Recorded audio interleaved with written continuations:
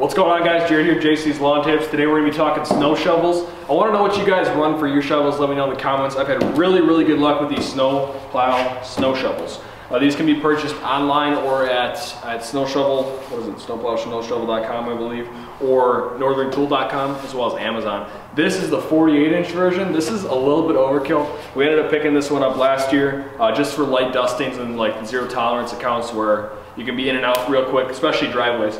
But my go-to shovel sizes are the 36 inches. I got two of them. Um, this is a good size because it gets you through just about every single walkway. Uh, these are polyurethane edges. So uh, if the shovel, any part of the shovel breaks, you can buy just the components online fairly reasonably priced too. Uh, the shovels themselves are pretty expensive. This one's about 65, 70, I think this one's about 65 bucks and that one's about 75 bucks. And they have, I believe, all the way as small as an 18 inch as well as a 30 and 24 inch version too. I might end up getting the 31 day just because I have a smaller, small, couple smaller sidewalks, but almost every sidewalk's 36 inches wide, personal sidewalks, so that's why we run these.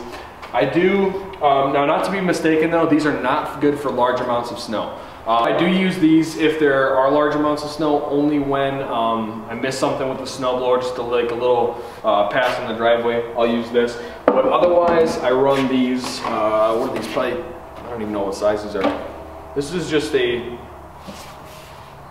True Temper uh, shovel from Menards. It's got the nice metal edge, about 20 bucks. This works good if you've got a lot of snow, as well as you got the narrow uh, pass so you can get through smaller sidewalks, things like that.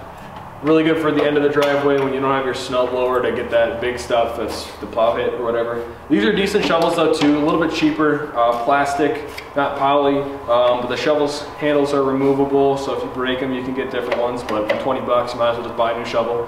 Um, so it's got this nice ergonomic handle too, so it's nice and icy.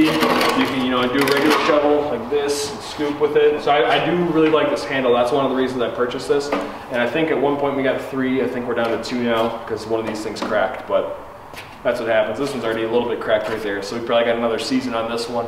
Metal scraping edge is almost a must with the shovel, unless you got the poly. These polys will clear right down to the pavement, which is fantastic. So these are what we're running for shovels right now. There's so many different kinds. Let me know what you guys run down in the comments. I'm curious to know what works well for you guys. These are the kinds that I've had good luck with especially the snowplow. 36 inch is my favorite size so far. Like I said, I might end up picking a 30 inch soon. Uh, my favorite shovel by far. Um, this is also available to be purchased from Boss Snowplow. Boss Snowplow slapped their name on one of these shovels too, so you can get the same exact shovel. Probably a little bit more expensive, but it'll say Boss on it. Boss Snowplow if you want one too.